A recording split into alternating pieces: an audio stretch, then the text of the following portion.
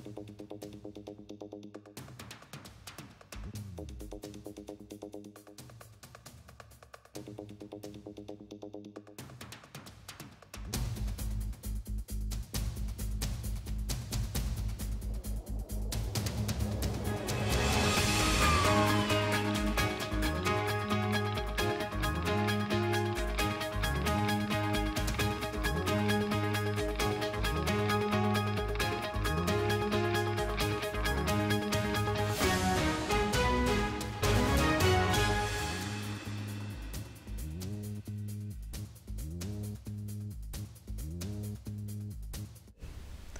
Czwartek, 25 października, Małgorzata Parys, witam i zapraszam na wydarzenia, a w nich m.in.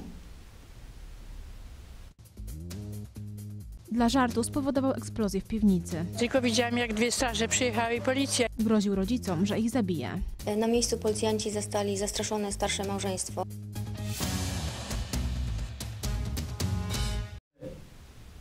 Tajemniczy pakunek wywołał spore zamieszanie na jednym z głogowskich osiedli. Na miejsce wezwano straż pożarną, policję i pogotowie ratunkowe. Ładunek eksplodował w momencie, gdy na miejsce dotarli strażacy. Policja zatrzymała 29-latka, który przyznał się do podłożenia, jak się okazało, paczki z petardami, tłumacząc, że zrobił to dla żartu. Chwilę grozy przeżyli dziś rano mieszkańcy bloku przy ulicy Jana Matejki w Gługowie. Ja tylko widziałam, jak dwie straże przyjechały i policja i zagrodzone były ulice, bo tu mieszkam w tym bloku. Mąż do mnie zadzwonił, że kolega do niego zadzwonił, że widział pod naszą klatką straż pożarną i się coś dymiło. Ale to było gdzieś tak po ósmej parę minut. I szybko pani przyszła z pracy do To znaczy się dopiero teraz przyszłam, bo y, y, dowiedziałam się, że, y, że coś tutaj się stało, nie? że coś zostało podłożone. A mamy psa i przyleciałam sprawdzić, co się dzieje. Dziwny pakunek znajdował się pod schodami w piwnicy. Z paczki wydobywał się dym, który zauważyła sprzątaczka i zawiadomiła straż pożarną. po naszym przyjeździe, po wejściu do tego pomieszczenia okazało się, że pojemnik jest i on w tym momencie, że tak powiem, wybuchł.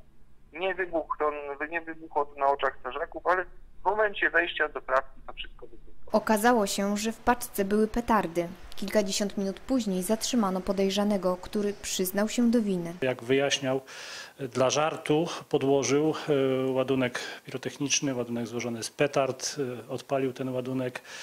No, nie spowodowało to ani żadnych strat materialnych, ani tym bardziej nikt nie odniósł obrażeń w tej e, sytuacji, w momencie tego wybuchu eksplozji.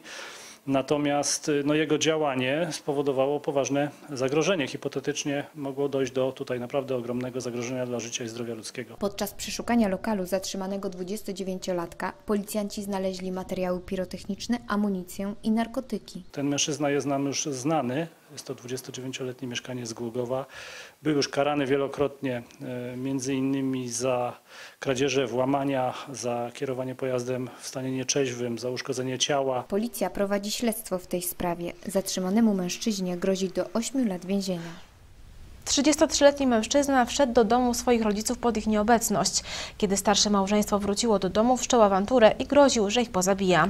Jak się później okazało, mężczyzna miał już zakaz zbliżania się do rodziców. Tym razem, na wniosek policji i prokuratury, sąd zastosował wobec 33-latka areszt na okres dwóch miesięcy.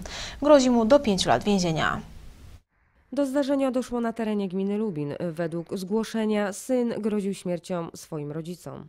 Policjanci zastali zastraszone starsze małżeństwo. W mieszkaniu przebywał również ich 33-letni y, syn. W obecności policjantów w sposób bardzo wulgarny i lekceważący odnosił się do swoich rodziców, również im groził. Jak się okazało, 33-latek już wcześniej znęcał się nad swoimi bliskimi. Złamał sądowy zakaz zbliżania się do rodziców oraz nakaz opuszczenia lokalu. W związku z tym funkcjonariusze zatrzymali mężczyznę i umieścili w policyjnym areszcie. Sąd natomiast zastosował wobec 33-latka areszt na okres dwóch miesięcy. Grozi mu nawet do pięciu lat więzienia. Na policję zgłosił się 20-letni mieszkaniec gminy Lubin, informując, że został zraniony nożem w kolano przez swojego kolegę. Powodem tego miał być dług w kwocie 800 zł, który był winien znajomej 18-latce.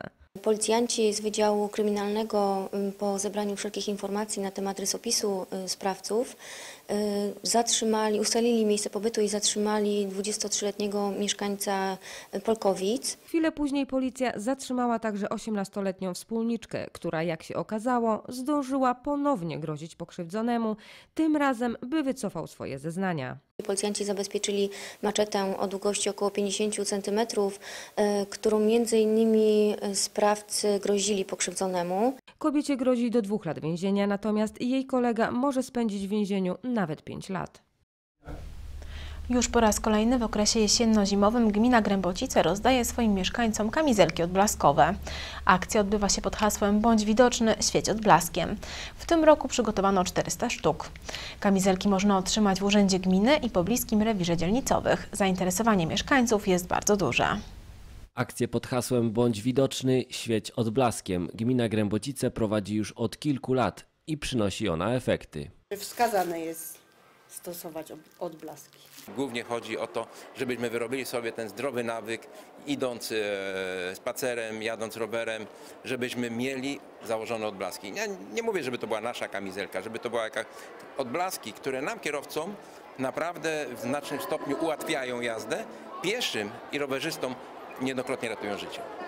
Od początku trwania akcji w Grębocicach rozdano już ponad 3000 kamizelek odblaskowych. Mieszkańcy są przyzwyczajeni do tego, że w okresie jesienno-zimowym rozdajemy kamizelki w Urzędzie Gminy. Y, Rozdajemy je też za pośrednictwem policji, która włącza się co roku y, w naszą akcję. Y, Można pobrać je u nas pod jedynką w Centrum Obsługi Mieszkańców albo na rewirze dzielnicowych w Grębocicach. Przypominamy, że pieszy poruszający się po zmierzchu drogą poza obszarem zabudowanym ma obowiązek używania elementów odblaskowych. Tym, którzy nie stosują się do tego przepisu, grozi mandat karny od 20 do 500 złotych. To będzie uczta dla koneserów muzyki. W Galerii Zamkowej w Lubinie podczas tegorocznej jesieni mieszkańcy Lubina i okolic będą mogli posłuchać m.in. muzyki klasycznej oraz muzycznych aranżacji z różnych epok, od renesansu po współczesność. Wszystko w ramach koncertów, które bezpłatnie odbywać się będą w Galerii Zamkowej. Tegoroczną jesień i zimę w Ośrodku Kultury Wzgórze Zamkowe w Lubinie wypełnią koncerty. Już 15 listopada na mieszkańców Lubina i okolic czeka koncert pod nazwą Muzyka jest pasją. To nowy cykl koncertów muzyki klasycznej, który odbywać się będzie w Galerii Zamkowa. Cykl ten jest organizowany razem we współpracy z Państwową Szkołą Muzyczną i prezentuje umiejętności dzieci i młodzieży, y, która się właśnie tam kształci. Kolejną muzyczną atrakcją na jesienne popołudnia i wieczory przygotowaną przez Ośrodek Kultury Wzgórze Zamkowe są koncerty pod nazwą Muzyczny Wehikuł Czasu. Podczas występów będzie można usłyszeć prezentacje z różnych epok. Ten cykl muzyczny realizowany jest we współpracy z Centrum Edukacyjno-Artystycznym ZG Muzyk.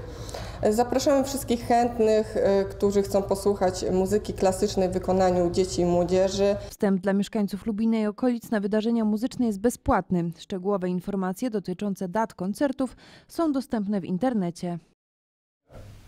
I to już wszystkie informacje w czwartkowych wydarzeniach. Dziękuję Państwu za uwagę i do zobaczenia.